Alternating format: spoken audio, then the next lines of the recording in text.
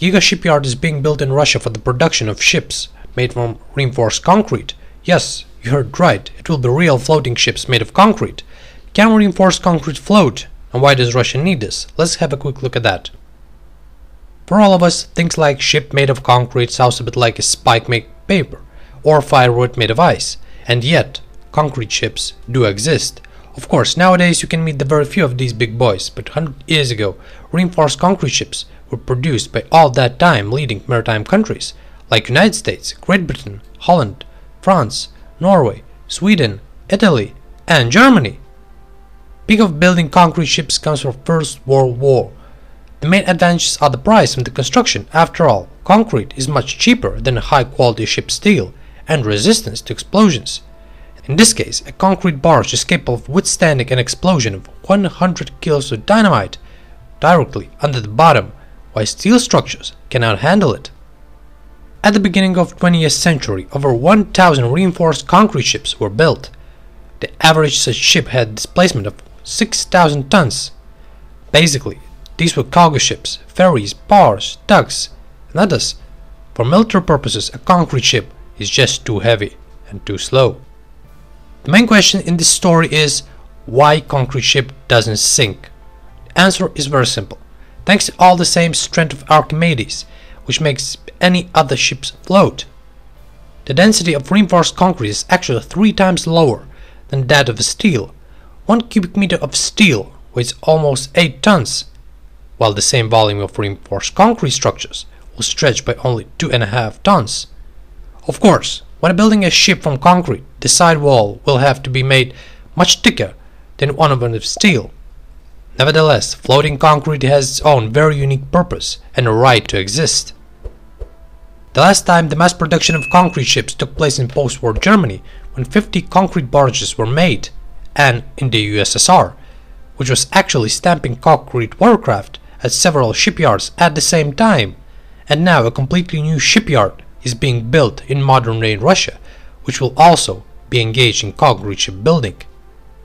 CSKMS, Center for Construction of Large Tonnage Maritime Structures. The construction site is deployed in Kolsky Peninsula, not far from Murmansk, in the Belokamenka village, which is located on the shores of Kolsky Bay and has a direct access to the Barents Sea that you can see in the picture. The estimated cost of the project is 120 billion rubles. It became a tradition now that we measure all construction sites with the Crimea carriage bridge so the cost of the new shipyard is about half of the cost of the bridge to Crimea. What is that all for? The fact that CSKMS will build more than just floating concrete barges. These will be entire factories working in the production and condensation of natural gas in the Arctic. Just imagine, shipyard assembles a floating concrete plant. This plant is towed to desired point in Arctic Ocean. Then it's attached to the bottom and begins to extract natural gas with subsequent conversion into LNG, transferring finished product to tankers. The new shipyard is not just shipyard, this is a whole conveyor belt for manufacture of floating LNG plants. The size of these future factories is staggering, gross weight of 600,000 tons. This is 6 times more than an aircraft carrier and 12 times more than a Titanic. For the manufacture of such huge structures, CSKM will have to do dry docks, the largest in Russia, with the dimensions each 400 by 175 meters, which is the size of 14 football fields. It is planned to build several dozen LNG plants in this particular area, where three plants consisting of Giga Shipyard will be built there at the same time. With 10,000 builders now, it is planned to have 15,000 people working this site, which makes it construction site of the century.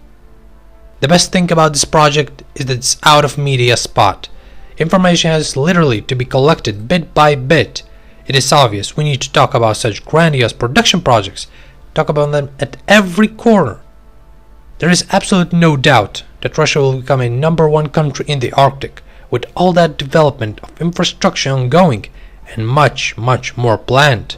Well, stakes are high and the outcome is just too easy to guess.